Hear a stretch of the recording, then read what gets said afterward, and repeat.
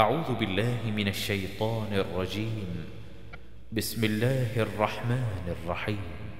عبداللہ بن مسلمہ بن قعنب مالک بن انس، زید بن اسلم، حضرت عمر بن خطاب رضی اللہ تعالی عنہ سے روایت ہے کہ میں نے اللہ کے راستہ میں عمدہ گھوڑا دیا۔ تو اس کے مالک نے اسے ضائع کر دیا۔ میں نے گمان کیا کہ وہ اسے سستے داموں پر فروخت کرنے والا ہے۔ تو میں نے رسول اللہ صلی اللہ علیہ وآلہ وسلم سے اس بارے میں سوال کیا۔ تو آپ صلی اللہ علیہ وآلہ وسلم نے فرمایا، تو اسے مت خرید۔ اور اپنے صدقہ میں مت لوٹ، کیونکہ اپنے صدقہ میں لوٹنے والا ایسا ہے جیسا کہ کتا اپنی قے کی طرف لوٹتا ہے۔ زہیر بن حرب عبد الرحمن ابن مہدی، حضرت مالک بن انس رضی اللہ تعالی عنہ سے بھی یہ حدیث ان اسناد سے مروی ہے اور اس میں اضافہ یہ ہے، تو اسے مت خرید، اگرچہ وہ تجھے ایک درہم ہی میں دے دے۔ امیہ بن بستام یزید ابن زریع، روح ابن قاسم، زید بن اسلم حضرت عمر رضی اللہ تعالی عنہ سے روایت ہے کہ انہوں نے اپنا ایک گھوڑا اللہ کی راہ میں دے دیا۔ پھر آپ نے اسے اس کے مالک کے پاس پایا تو اس نے اسے ضائع کر دیا تھا اور وہ آدمی غریب تھا۔ آپ نے اسے خریدنے کا ارادہ کیا تو رسول اللہ صلی اللہ علیہ وآلہ وسلم کی خدمت میں حاضر ہوئے اور آپ صلی اللہ علیہ وآلہ وسلم سے اس کا ذکر کیا تو آپ صلی اللہ علیہ وآلہ وسلم نے فرمایا، اگرچہ تجھے ایک درہم میں بھی دیا جائے تو بھی نہ خرید۔ کیونکہ اپنے صدقہ میں لوٹنے والے کی مثال ایسی ہی ہے جیسے کتے کی مثال، جو اپنی قے کی طرف لوٹتا ہے۔ ابن ابی عمر، سفیان، حضرت زید بن اسلم سے بھی یہ حدیث مبارکہ مروی ہے۔ لیکن حضرت مالک و روح کی حدیث زیادہ مکمل اور پوری ہے۔ یحییٰ بن یحییٰ مالک، نافع، حضرت ابن عمر رضی اللہ تعالی عنہ سے روایت ہے کہ حضرت عمر بن خطاب رضی اللہ تعالی عنہ نے اللہ کی راہ میں ایک گھوڑا دے دیا۔ اسے فروخت ہوتے پایا تو اسے خریدنے کا ارادہ کیا۔ پھر رسول اللہ صلی اللہ علیہ وآلہ وسلم سے اس بارے میں پوچھا تو آپ صلی اللہ علیہ وآلہ وسلم نے فرمایا، اسے مت خرید اور اپنے صدقہ میں نہ لوٹ۔ قطعبہ ابن رمح لیس بن سعید مقدمی محمد بن مسنہ یحییٰ قطان، ابن نمیر، ابو بکر بن ابی شیباہ، حضرت اسامہ نافع، حضرت مالک رضی اللہ تعالی عنہ کی طرح، حضرت ابن عمر رضی اللہ تعالی عنہ کے واسطہ سے نبی صلی اللہ علیہ وآلہ وسلم سے یہ حدیث ان اسناد سے بھی مروی ہے۔ ابن ابی عمر، عبد بن حمید عبد الرزاق معمر، زہری، سالم، حضرت ابن عمر رضی اللہ تعالی عنہ سے روایت ہے۔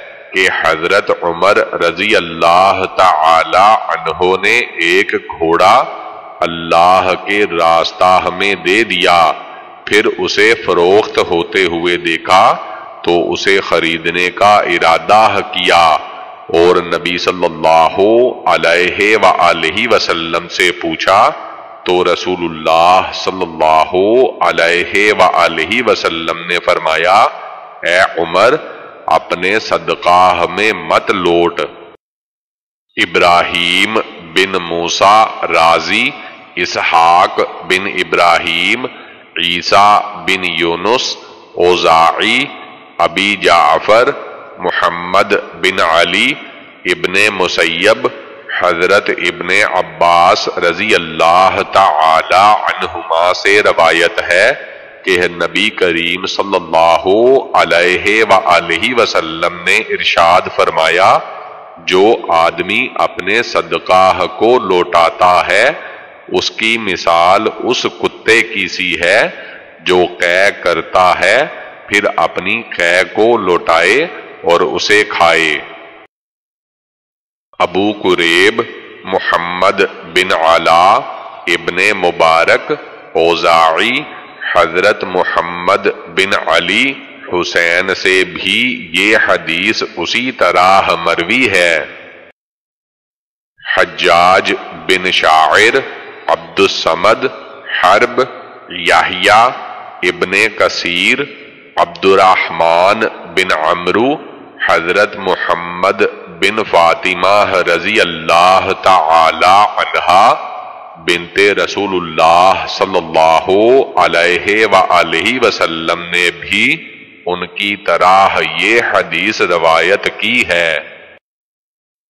ہارون بن سعید علی، احمد بن عیسیٰ، ابن وحب عمرو ابن حارث، بکیر، سعید بن مسیب حضرت عباس رضی اللہ تعالی عنہ سے روایت ہے کہ رسول اللہ صلی اللہ علیہ وآلہ وسلم نے فرمایا، اس آدمی کی مثال جو اپنے مال سے صدقہ کرے، پھر اپنا صدقہ لوٹائے، ایسی ہے۔ جیسے کہ کتے کی مثال، جو قے کر کے پھر اپنی قے کھا لے۔ محمد بن مسنہ، محمد بن بشار، محمد بن جعفر شعباہ قطادہ سعید بن مسیب، حضرت ابن عباس رضی اللہ تعالی عنہما سے روایت ہے کہ نبی کریم نے ارشاد فرمایا اپنے ہباہ کو لوٹانے والا، اپنی قے کو لوٹانے والے کی طرح ہے۔ محمد بن مسنہ، ابن ابی عدی، سعید قطادہ حضرت قطادہ رضی اللہ تعالی عنہ سے بھی یہ حدیث مبارکہ اسی طرح کی ہے۔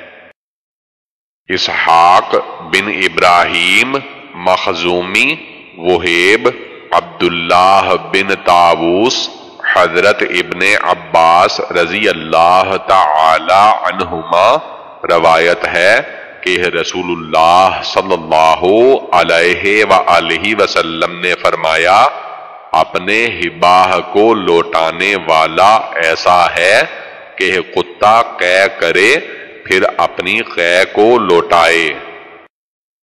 یاہیا بن یاہیا مالک ابن شہاب، حمید بن عبد الرحمن محمد بن نعمان بن بشیر، حضرت نعمان بن بشیر رضی اللہ تعالی عنہ سے روایت ہے کہ اسے اس کے والد رسول اللہ صلی اللہ علیہ وآلہ وسلم کی خدمت میں لے کر حاضر ہوئے تو عرض کیا، میں نے اپنے اس بیٹے کو اپنا ایک غلام اباہ کیا۔ رسول اللہ صلی اللہ علیہ وآلہ وسلم نے فرمایا، کیا تو نے اپنی تمام اولاد کو اسی طرح اباہ کیا ہے؟ اس نے کہا، نہیں۔ رسول اللہ صلی اللہ علیہ وآلہ وسلم نے فرمایا، اس سے لوٹا لے۔ یحییٰ بن یحییٰ ابراہیم بن سعد، ابن شہاب، حمید بن عبد الرحمن محمد بن نعمان، حضرت نعمان بن بشیر رضی اللہ تعالی عنہ سے روایت ہے۔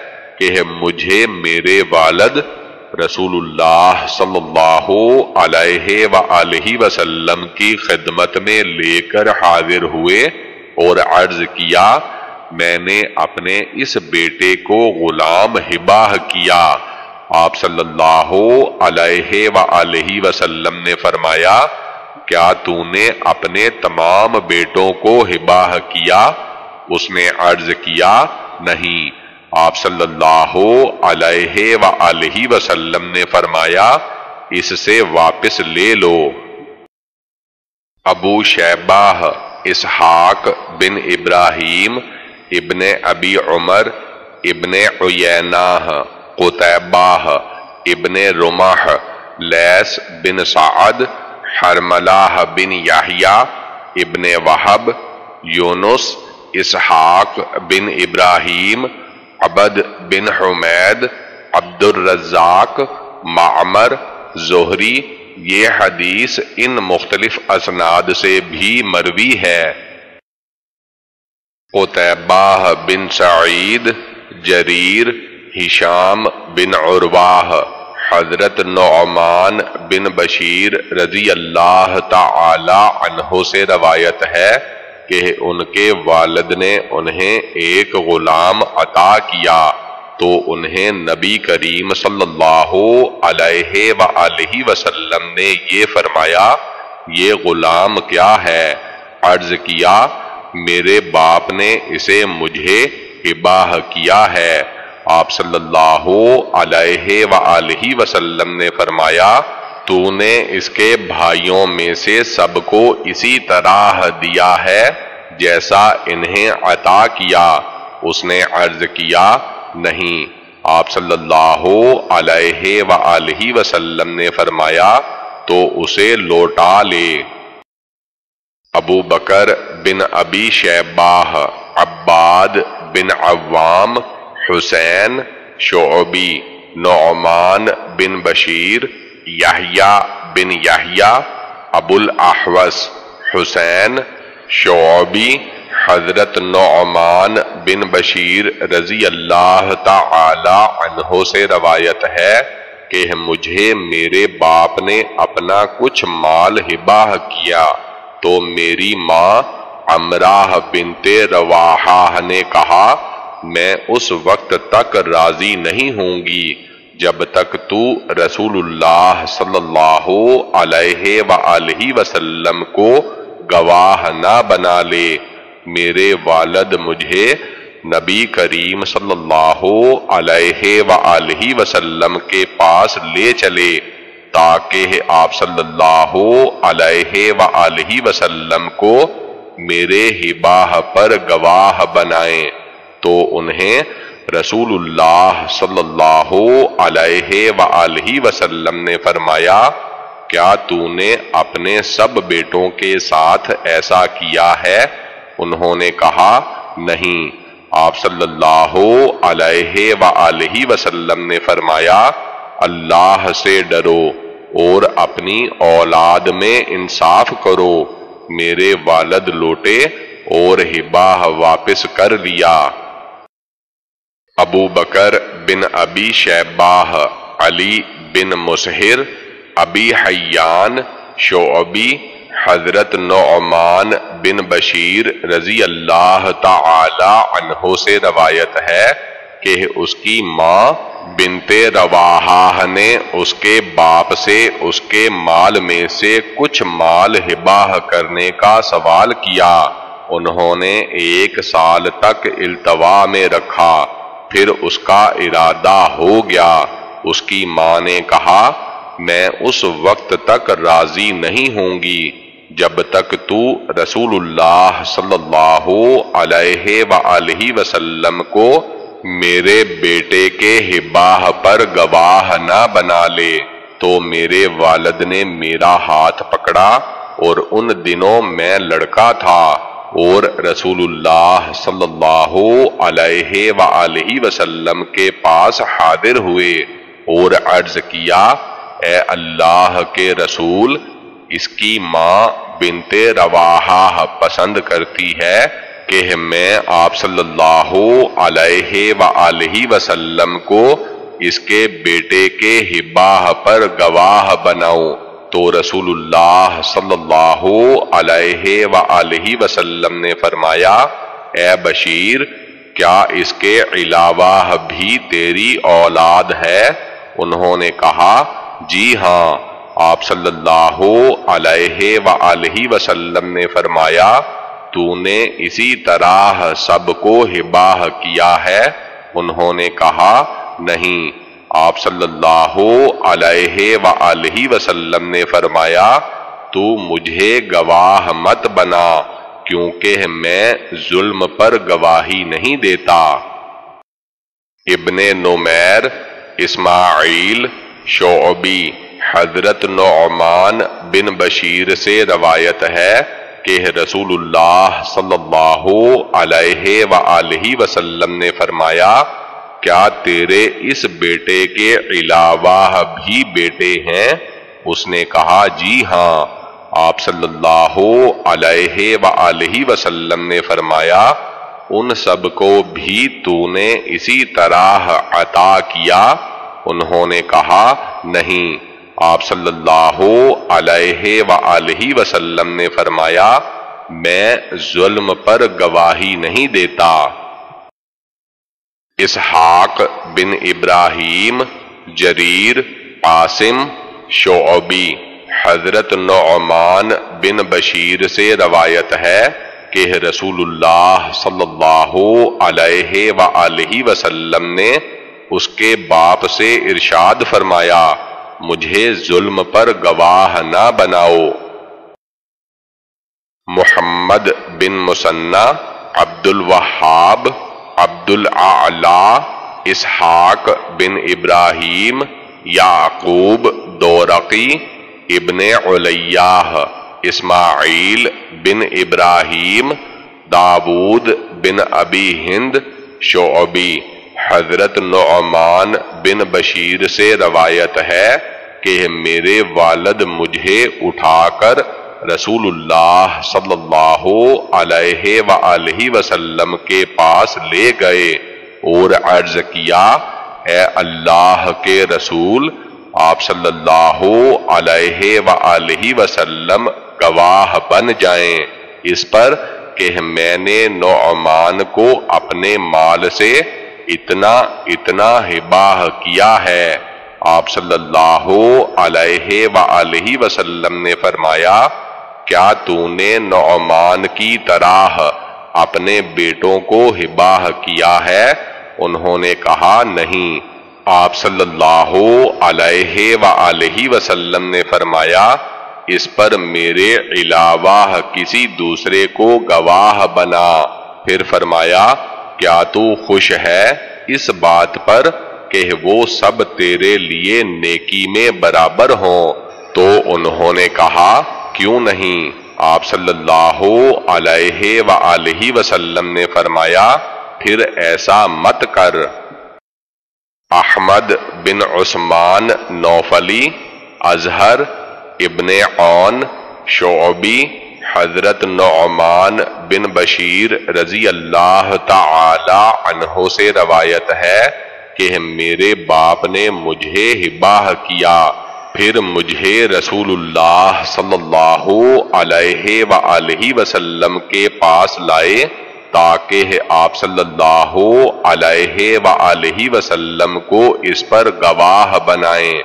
آپ صلی اللہ علیہ وآلہ وسلم نے فرمایا، کیا تو نے اپنے تمام بیٹوں کو یہ عطا کیا ہے؟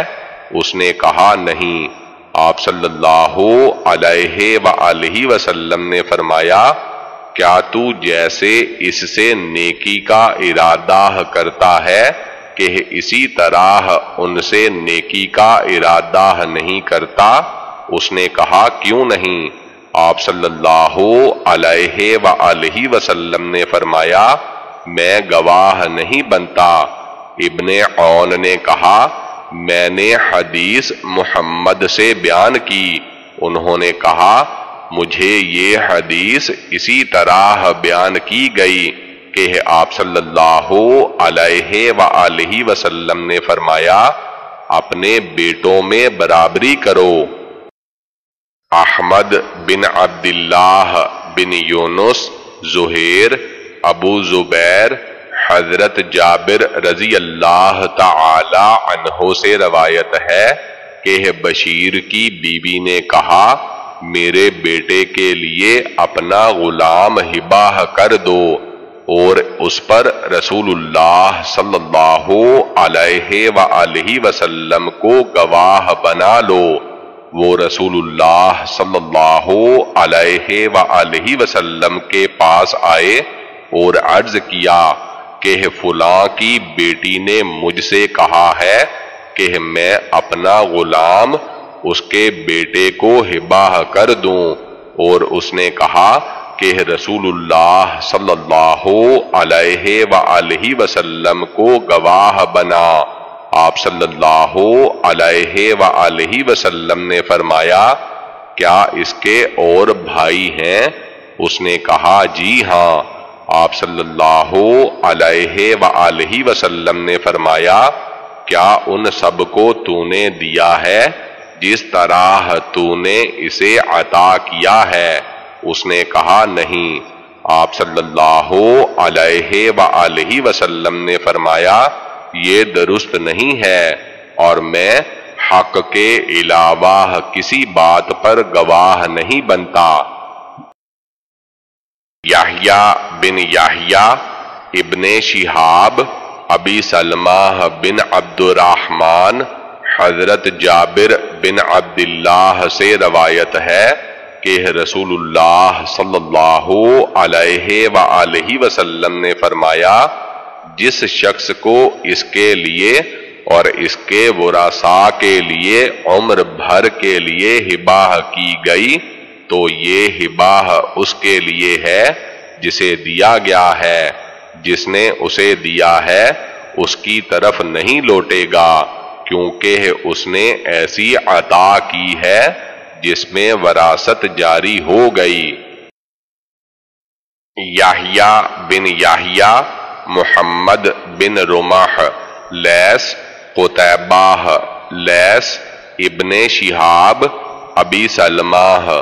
حضرت جابر رضی اللہ تعالی عنہ بن عبداللہ رضی اللہ تعالی عنہ سے روایت ہے کہ میں نے رسول اللہ صلی اللہ علیہ وآلہ وسلم سے سنا، آپ صلی اللہ علیہ وآلہ وسلم جس نے کسی آدمی اور اس کے وراسا کو کوئی چیز تا عمر کے لیے ہباہ کی، تو اس کے قول نے اس چیز میں اس کے حق کو ختم کر دیا اور یہ اسی اور اس کے وراسا کے لیے ہے، جس کو ہباہ کی گئی ہے۔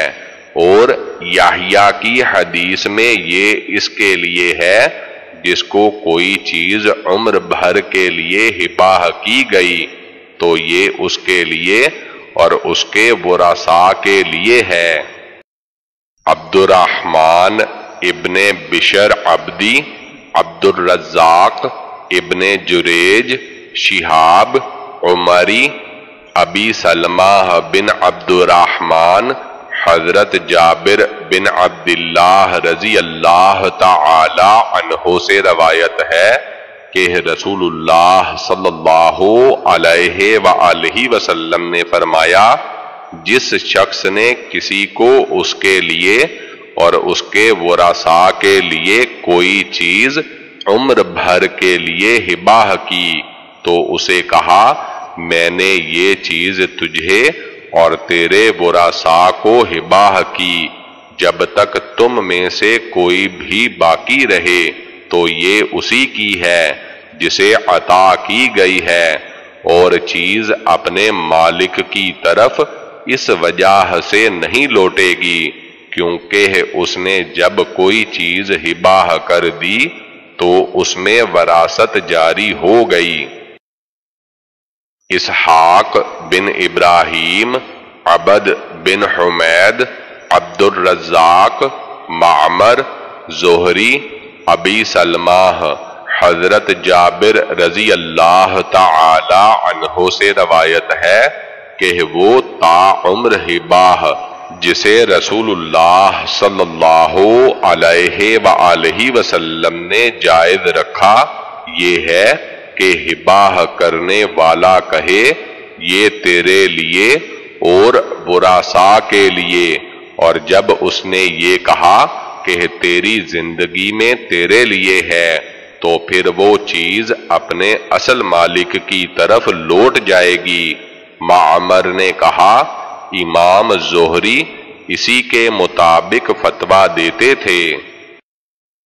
محمد بن رافع، ابن ابی فدیک، ابن ابی زعب، ابن شہاب، ابی سلمہ بن عبد الرحمن حضرت جابر رضی اللہ تعالی عنہ سے روایت ہے کہ وہ حضرت عبداللہ کے بیٹے ہیں کہ رسول اللہ صلی اللہ علیہ وآلہ وسلم نے اس آدمی کے بارے میں فیصلہ فرمایا جسے اس کے لیے اور اس کے وراسا کے لیے تا عمر ہباہ کیا گیا۔ وہ یقینی طور پر اسی کے لیے ہے ہباہ کرنے کے لیے اس میں شرط لگانا اور استثناء کرنا جائز نہیں۔ ابو سلمہ نے کہا، کیونکہ اس کی شرط منقطع کر دی۔ عبید اللہ بن عمر قواریری، خالد بن حارث، ہشام یحییٰ بن ابی کثیر ابو سلمہ بن عبد الرحمن حضرت جابر رضی اللہ تعالی عنہ سے روایت ہے کہ رسول اللہ صلی اللہ علیہ وآلہ وسلم نے فرمایا، تا عمر ہباہ اس کے لیے ہے جس کو ہباہ کیا گیا ہو۔ محمد بن مسنہ، معاذ بن ہشام یحییٰ بن ابی کثیر، ابو سلمہ بن عبد الرحمن حضرت جابر بن عبداللہ رضی اللہ تعالی عنہ سے روایت ہے کہ اللہ کے نبی صلی اللہ علیہ وآلہ وسلم نے اسی طرح فرمایا۔ احمد بن یونس، زہیر، ابو زبیر حضرت جابر رضی اللہ تعالی عنہ سے روایت ہے، جسے انہوں نے نبی صلی اللہ علیہ وآلہ وسلم سے مرفوعاً بیان کیا ہے۔ یحییٰ بن یحییٰ ابو خیسمہ، ابی زبیر، جابر رضی اللہ تعالی عنہ رسول اللہ صلی اللہ علیہ وآلہ وسلم نے ارشاد فرمایا، اپنے اموال کو روکے رکھو اور اس میں فساد نہ کرو، کیونکہ جس شخص نے عمر بھر ہباہ کیا تو اسی کے لیے ہے جسے ہباہ کیا گیا اور اس کے وارثوں کا ہے، خواہ زندہ ہو یا مر جائے۔ ابو بکر بن ابی شیباہ، محمد بن بشر، حجاج بن ابی عثمان، ابو بکر بن ابی شیباہ، اسحاق بن ابراہیم، وقیع، سفیان عبد الوارث بن عبد السمد ابی زبیر، حضرت جابر رضی اللہ تعالی عنہ سے روایت ہے۔ کہ نبی کریم صلی اللہ علیہ وآلہ وسلم نے ارشاد فرمایا، اسی طرح جیسے ابی خیسمہ کی حدیث میں ہے اور ایوب کی حدیث میں یہ زیادتی انصار مہاجرین کو تا عمر ہباہ کرنے لگے۔ تو رسول اللہ صلی اللہ علیہ وآلہ وسلم نے ارشاد فرمایا اپنے مالوں کو اپنے پاس روک رکھو۔ محمد بن رافع، اسحاق بن منصور، ابن رافع عبد الرزاق ابن جریج، ابو زبیر، حضرت جابر رضی اللہ تعالی عنہ سے روایت ہے۔ کہ مدینہ میں ایک عورت نے اپنا باغ اپنے بیٹے کو ہباہ کیا، پھر وہ فوت ہو گیا اور اس کے بعد وہ عورت بھی فوت ہو گئی اور اولاد چھوڑی، جو اس مرنے والے کے بیٹے اور بھائی تھے، جو عمر ہباہ کرنے والی عورت کے بیٹے تھے۔ تو ہباہ کرنے والی عورت کی اولاد نے کہا، باغ ہماری طرف لوٹ آیا اور جسے عمر بھر کے لیے ہباہ کیا گیا، اس کے بیٹے نے کہا، بلکہ یہ ہمارے باپ ہی کے لیے ہے، اس کی زندگی اور موت میں۔ انہوں نے حضرت طارق کے پاس اپنا جھگڑا پیش کیا جو حضرت عثمان کے آزاد کردہ غلام تھے، تو انہوں نے حضرت جابر رضی اللہ تعالی عنہ کو بلوایا، تو انہوں نے رسول اللہ صلی اللہ علیہ وآلہ وسلم کے قول پر گواہی دیتے ہوئے کہا کہ یہ باغ اسی کا ہے جسے تا عمر کے لیے ہباہ کیا گیا ہے۔ تو تارک نے اسی پر فیصلہ کر دیا۔ پھر عبد المالک کو لکھ کر اس کی خبر دی اور اسے حضرت جابر رضی اللہ تعالی عنہ کی شہادت و گواہی کی بھی خبر دی۔ تو عبد المالک نے کہا، جابر نے سچ کہا ہے۔ تارک نے اس کے مطابق حکم جاری کر دیا۔ اور وہ باغ آج تک ہباہ کیے ہوئے کے لڑکوں کے پاس ہے۔ ابو بکر بن ابی شیباہ، اسحاق بن ابراہیم، ابی بکر، اسحاق، ابو بکر، سفیان بن عیناہ، عمرو، حضرت سلیمان بن یسار سے روایت ہے۔ کہ تارک نے عمر بھر کے ہباہ کا فیصلہ وارث کے لیے کیا۔ حضرت جابر رضی اللہ تعالی عنہ کے رسول اللہ صلی اللہ علیہ وآلہ وسلم سے قول کی وجہ سے۔ محمد بن مسنہ، محمد بن بشار، محمد بن جعفر شعباہ قطادہ عطا، حضرت جابر بن عبداللہ رضی اللہ تعالی عنہ سے روایت ہے کہ نبی کریم صلی اللہ علیہ وآلہ وسلم نے فرمایا، تا عمر ہباہ جائز ہے۔